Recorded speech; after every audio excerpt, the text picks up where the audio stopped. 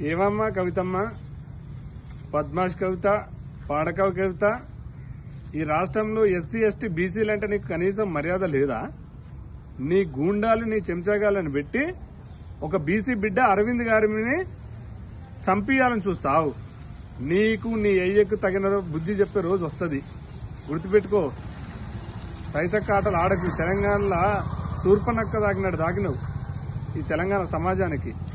ఖచ్చితంగా బేసిరత్గా నువ్వు నీ అయ్య నీ అన్న నీ ఇంకో అన్న నీ వాళ్ళందరూ కూడా బా బేసిరత్గా ఎంపీ అరవింద్ గారికి మరియు బీసీలకు క్షమాపణ చెప్పాలి. లేకపోతే తెలంగాణను వేడిపోయిన నీ మీద కోడిగుడ్లు బత్తాయిలు పడతాయి ఇక. గుర్తుపెట్టుకో కవిత.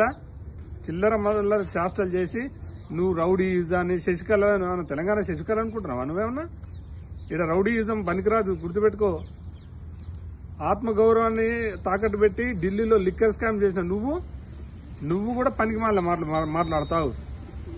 మేనేజ్మెంట్ కోటల ఎమ్మెల్సీ అయిన నువ్వు. నీకు దమ్ముంటే మనం మునుగోడలో పోటీ చేయపోయినావు నీకు దమ్ముంటే హుజరాబాద్లో పోటీ చేయపోయినావు దమ్ము ధైర్యం లేక లిక్కర్ స్కామ్లో తిరిగి తెలంగాణ భారతదేశంలో తెలంగాణ పరుగు తీసిన నువ్వు ఇష్టం వచ్చినట్టు మాట్లా మాట్లాడితే మాత్రం ఊరుకునేది లేదు. ఖచ్చితంగా తగిన బుద్ధి చెప్తాం.